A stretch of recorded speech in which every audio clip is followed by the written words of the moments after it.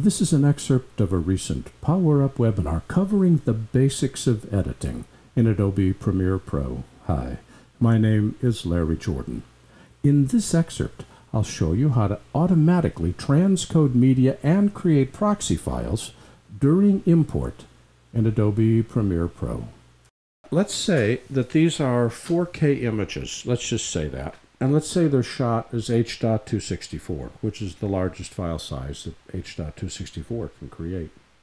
Those are going to be hard to edit, especially if I have an older machine. I want to talk about these settings right up here. This is a recent locations pop-up menu, which allows me to jump from one place to another. If I keep going to the same six locations over and over again, this can save me clicking time. This allows me to go back or forward, the same as any browser you're familiar with how those buttons work.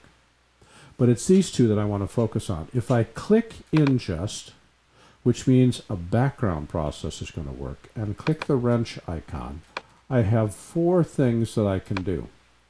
First, I could make a copy of the file with MD5 verification. I can transcode the file, which I'll talk about in a second. I can create proxies, or I can copy the file and create proxies. Remember, transcode allows us to convert from whatever the camera native file is to the file that I want to use for editing. What we are in today is what I call a three codec world. We shoot one codec for the camera, we transcode to a second codec for editing, we transcode to a third codec for distribution. The camera codec is optimized for the camera, the mezzanine or the intermediate codec is optimized for editing, and a distribution codec is optimized to make it easy to distribute. So optimize for your camera, that's codec 1. Optimize for editing, that's codec 2. Optimize for distribution, that's codec 3. And to set that optimization, I'm going to transcode. Remember, that means convert. I'm going to work with some presets.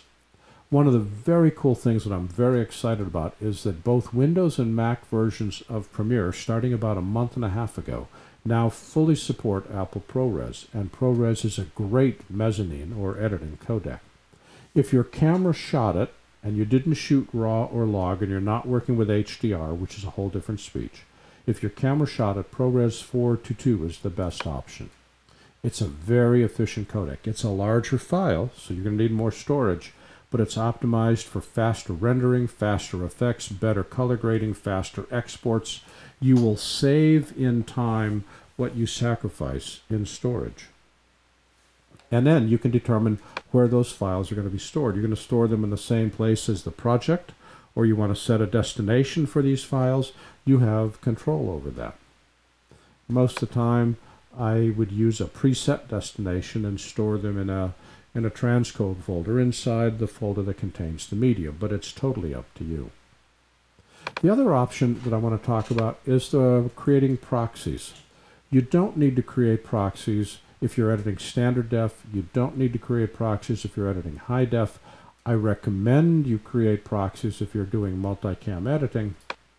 And I also recommend you create proxies if your frame size is larger than 4K. Creating proxies is easy. You say create proxies. Then what preset do you want to use? You definitely don't want to use H.264, though it gives us very, very small files. It's a tough format to edit because of the way that the compression is applied.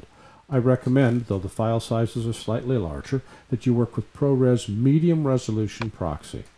This creates a 1280 720 clip, so it's still HD, but it doesn't have as many pixels as 1080 or 4K or 6K, which is good because it decreases the bandwidth and the storage requirements of your storage.